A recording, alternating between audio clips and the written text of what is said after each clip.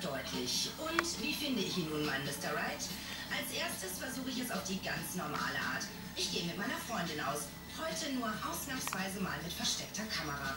Und anders als sonst bin ich ab sofort richtig aktiv bei der Männersuche. Ja, gerne an der Bar.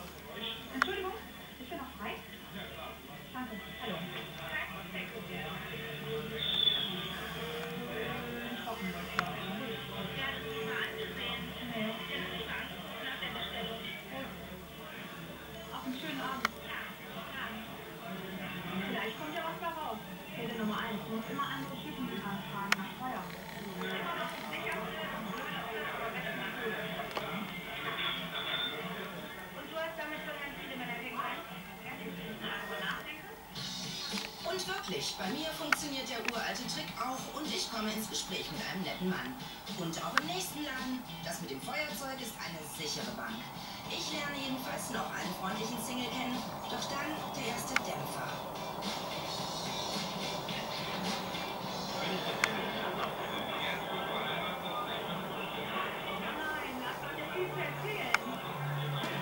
Der hat doch nicht getroffen.